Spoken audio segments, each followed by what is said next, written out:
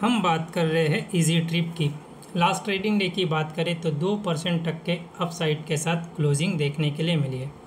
लगातार गिरावट के बाद 28 के लेवल से स्टॉक ने बाउंस बैक कर दिया है। हमने डिस्कस किया था बाउंस बैक करता है तो 34 तक का जम दिखा सकता है और स्टॉक पर देखो उसी के आसपास नज़र आ रहा है। 34 के लेवल से रिजेक्शन के बाद बड़ी सेलिंग आई थी, बड़ी गिरावट स्टॉक ने दिखाया था। लेकिन आप देख सकते हैं यहाँ बायर्स एक्टिव होते नज़र आ रहे बाइंग देखने के लिए मिल रही है।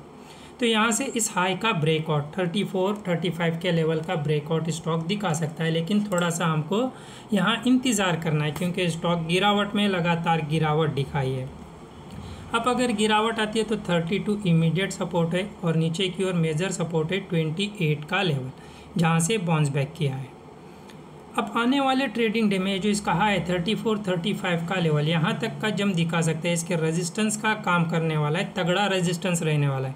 रिजेक्शन के बाद बड़ी गिरावट दिखाई है तो तगड़ा रेजिस्टेंस रहने वाला है। एटलीस्ट इस हाई को ब्रेकआउट करता है और इसके ऊपर क्लोजिंग दे जाता है तो वैसी सिचुएशन में इजी ट्रिप का खेल पलट सकता है।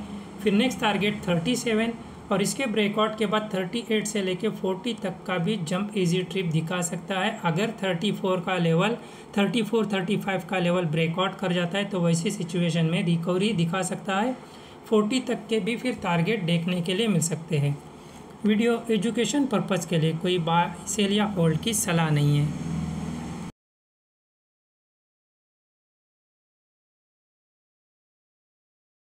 अगर आप डिमेट अकाउंट ओपन करना चाहते हो तो डिस्क्रिप्शन में दी गई लिंक से कर सकते हो।